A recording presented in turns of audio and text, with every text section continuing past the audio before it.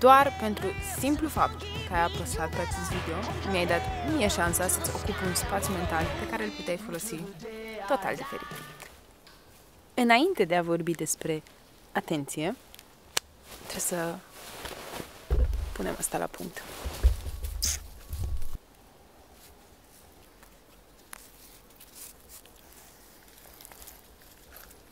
Dar până să ajungi la video și să-mi oferi atenția voluntar, a fost totuși voluntar sau involuntar? Hai să ne uităm puțin. Deci, o să mă pun pe mine în locul consumatorului, pentru că acum sunt în locul creatorului. De conținut. Și anume, ai luat telefonul, uh, l-ai deschis, poate ai intrat pe Insta, ai dat scrolling 10 minute, ți-ai luat o porție de dopamină, a devenit plictisitor ce ai văzut acolo și ai zis, ok, bun, altă aplicație, poate ai deschis TikTok-ul, poate ai deschis, nu știu, te ai văzut ce mesaje ai pe WhatsApp și ai ajuns pe YouTube pentru o altă porție de dopamină. Dar stai că YouTube-ul nu ți-a zis direct, uite, fata asta a postat, fata asta cu cei 700 de urmăritori. Și totuși, ai ajuns la videoul meu. Ai trecut printr-un homepage, prin niște recomandări, prin niște reclame, printr-un thumbnail pe care eu l-am gândit, astfel încât să-ți atrag ție atenția. Să fie oare un lucru greșit că ne folosim așa atenția? Să fie un lucru inconștient pe care îl facem? Homo sapiens sapiens care au dat de tehnologie și au, s-au gândit ei că, ok, revoluție.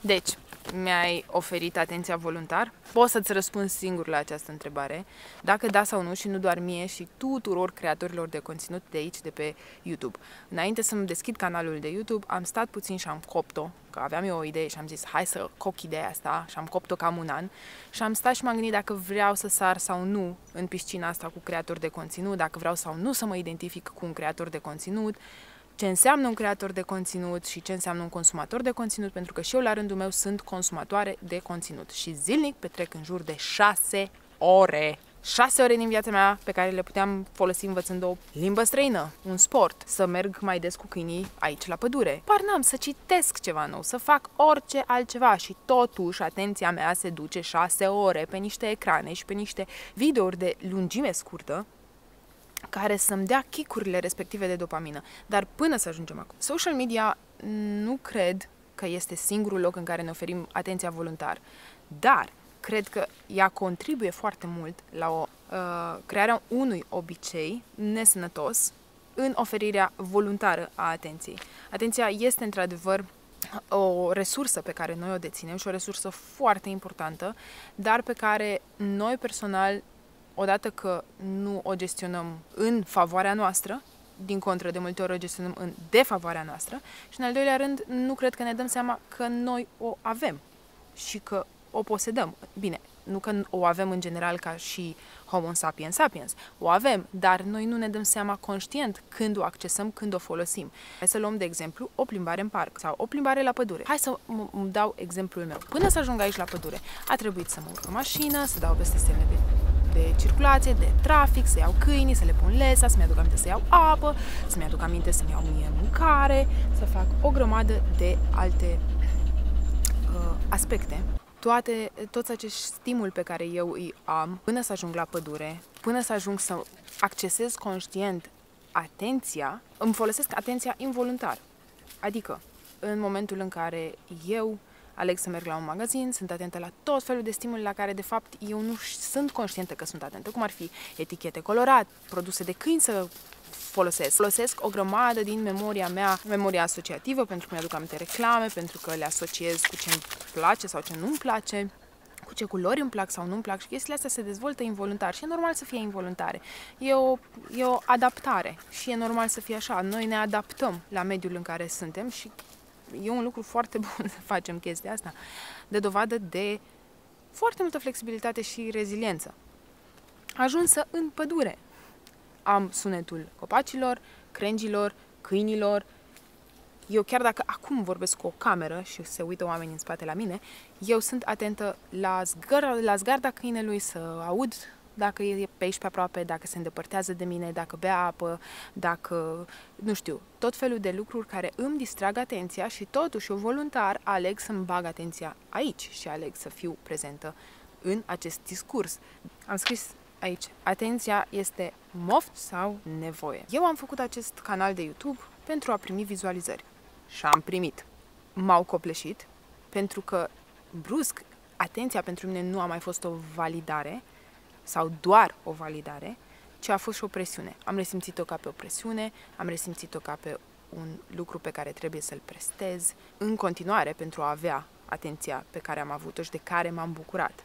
Acum, cred că 2 ani, 2 ani, da, am făcut un curs de parenting, mai exact cursul Raniei, nu fac reclamă, vă duceți și vă uitați voi dacă sunteți curioși. Curs de parenting pentru că lucram cu copii și aveam anumite dificultăți în a comunica cu ei și am zis ok, de ce nu, am beneficiat de o reducere pentru că lucram cu copii, motiv pentru care am zis haide să fac cursul de parenting. La cursul respectiv de parenting am învățat 80% lucruri despre mine și despre felul în care am fost eu crescută și despre lucruri pe care aș putea să le îmbunătățesc la mine. Și una din cele mai importante informații cu care am rămas de acolo sunt cei 3 C, și anume comunicare, uh, control și competență. Teoretic, toate nevoile noastre se învârt în acești 3 C. Și culmea este că toți cei 3 C se bazează pe atenție. Conectarea se bazează pe atenția celor din jur și prin realizarea unor relații autentice cu ei. Și competența este prin validare. Dar cum ne putem valida noi că am făcut ceva bine decât dacă alții înaintea noastră au făcut același lucru la fel sau cel puțin la fel de bine și ne încurajează sau ne spun unde am greșit sau îmbunătățim niște lucruri. Nevoia de control contează foarte mult unde ne focusăm atenția ca să ne simțim în controlul vieților noastre. Pe când cu social media, atenția nu mai este în controlul nostru, pentru că sunt foarte multe metode de a edita un video astfel încât să-ți atragă atenția, odată de la subtitrări, de la efectele speciale, de la color grading, o grămadă de efecte care să-ți stimuleze creierul și să-ți dea chicuri de dopamină, stimul, stimul, stimul, stimul, stimul. Am căutat niște studii pe PubMed Mm, legate de dependența asta de internet și de cum afectează ea mm, neurodivergența și ADHD-ul. Uh, eu nu sunt medic specialist, cei drept, am terminat medicina, dar nu este un sfat medical. Vă las aici articolele, aici. Vă las și în descriere linkurile către articole să vă convingeți siguri. Ce pot să spun este că, într-adevăr, simptomele de ADHD sunt amplificate de consumul cronic de internet, dacă pot să-l numesc așa, și de dependența de ecrane, studiile respective au comparat cumva efectul dopaminergic pe care îl au drogurile cu folosirea de ecrane. Activează exact aceleași părți din creier, ceea ce e normal, adică rețeaua neuronală, care este îmbibată în dopamină. Deci după 200-300 de riluri sau TikTok-uri urmărite pe zi, pe care, apropo, creierul nostru le vede ca și recompense, Adică stând pe canapea și mâncând o chestie semi-procesată, poate, tu îi dai creierului tău 200-300 de recompense pe zi. Și eu îi dau, nu doar tu, e, că și eu sunt vinovată. Ulterior, așteptându-te ca împachetând rufe sau spălând vase să-și ia același nivel de recompensă ca atunci când stătea pe canapea și primea respectivele recompense. Mm, teoretic nu merge așa. Motiv pentru care crește foarte mult nivelul de plictiseală în viața reală, nivelul de frustrare cu sarcinile obișnuite pe care le trebuie să le îndeplinim zilnic, adică, nu știu, să ne spălăm șosetele și să scoatem câinii la plimbare. La un moment dat în viața mea am fost extraordinar de frustrată pe câinii mei. Pur și simplu nu se potrivea cu imaginea pe care o aveam eu despre câini și cum ar trebui să fie câinii și cu Până când mi-am dat seama că toată imaginea pe care o aveam eu despre cum ar trebui să fie un câine și loial stăpânului și să nu fugă cum fuge Nati acum prin pădure și să stea lângă mine și dacă eu vreau să se pună pe hamac, se pună pe hamac și nevoia mea obsesivă de control are legătură clar cu ce, cu ce imagini aleg să hrănesc creierul. Doar cu câinii de pe internet care sunt puși frumos la poză sau fac jumbuș lucruri sau sunt extraordinar de cuminți sau uh, sunt extraordinar de drăguți sau și ajungeam acasă și eram câinii mei, nu sunt extraordinar de drăguți. Astăzi nu au venit să mă Bine, au venit să mă pupe la intrare, dar ulterior s-au săturat de mine, cum e și normal să se sature, pentru că sunt alte ființe independente de mine. Și îmi crease niște așteptări complet nerealiste de la ce înseamnă să ai un câine și ce înseamnă să dresezi un câine și, din nou, comparația asta care strică absolut totul. Am mai scris o chestie foarte importantă pe care menționez uh, și anume crearea spațiilor, spațiilor parasociale. Teoretic, noi, creatorii de conținut, creăm un spațiu parasocial aici, care nu este tocmai social pentru că noi nu ne întâlnim în viața de zi cu zi, sau cel puțin cu majoritatea oamenilor care mă urmăresc nu mă întâlnesc zi de zi. Motiv pentru care spațiul ăsta parasocial ne dă falsa impresie că noi cunoaștem oamenii. Deci în videoclipul meu, Uh, am avut parte de foarte multă atenție și de foarte mulți oameni care și-au dat cu părerea despre ce specializări ar trebui să aleg eu la rezidențiat și cum ar trebui să învăț. Și da, bun, am înțeles, este un spațiu parasocial pe care eu l-am creat și voi l-ați umplut, cum era de așteptat. Asta am vrut să se întâmple de fapt. Poate nu am vrut comentariile de hate, poate nu am vrut. Nu contează. Asta am vrut să se întâmple în momentul în care eu, personal, am creat acest spațiu parasocial în care voi să veniți să vă spuneți opiniile. Adică eu m-am expus și chestia asta trebuie să mi-o asum. Aceste spații parasociale creează un, o falsă impresie de apropiere față de celălalt cealaltă persoană cu care interacționezi online, chiar dacă îi lași un comentariu, comentariul acela nu este în, în, în timp real, chiar dacă ai impresia că îl cunoști pentru că el alege, cum aleg eu acum, să-mi împărtășesc o parte din viață sau o parte din idei sau nu sunt rea- relații reale. Și chiar un studiu a vorbit despre diminuarea atenției voluntare și a calității relațiilor sociale pe care noi le avem uh, datorită integrării ecranelor și dependenței de internet în viețile noastre de zi cu zi.